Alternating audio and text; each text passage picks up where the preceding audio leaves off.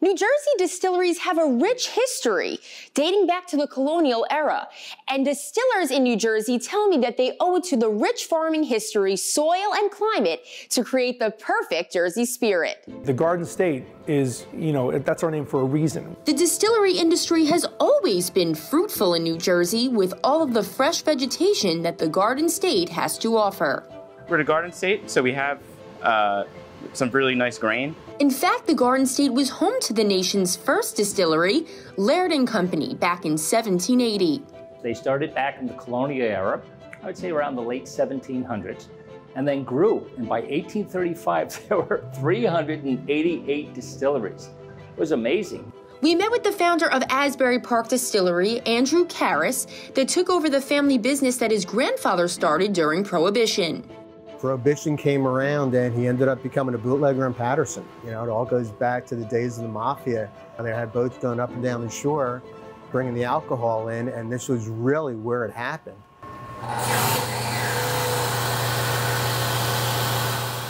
And born out of the Prohibition era, you better believe that the distillery industry has many, many rules that they have to abide by, including that they are only allowed to sell their spirits and no one else's, unlike any other bar.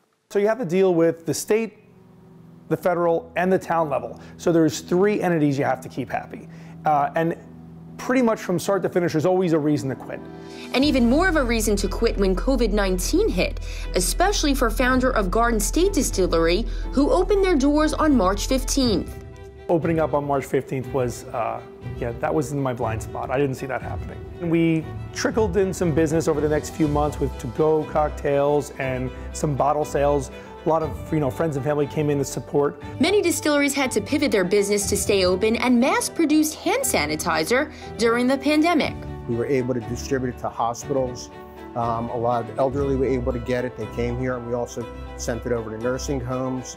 Um, first responders, uh, fire department, police, they all came here and we delivered it to them. So it was a need we were able to fill, to be able to help out, do our part to help the community.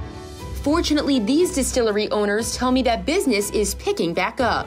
We're really not trying to compete with bars and restaurants. That's the, the number one thing we try to do here. We're, we're not trying to, uh, to take away business for anyone else. We close in an earlier time. We tell all of our customers, go to these local liquor stores and restaurants, try our cocktails there wine, you use certain grapes to produce different flavors. How does that go with distillery? What ingredients? Yeah.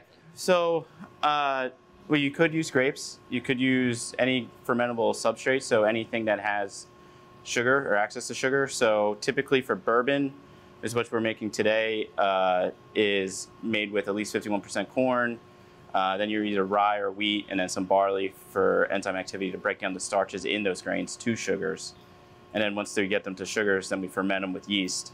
According to New Jersey law, distilleries can offer tours and tastings and even on-site sales. But if you're hungry, you'll have to go support a local small business and have your food delivered here. Reporting from Toms River for Jersey Matters, I'm Kimberly Kravitz.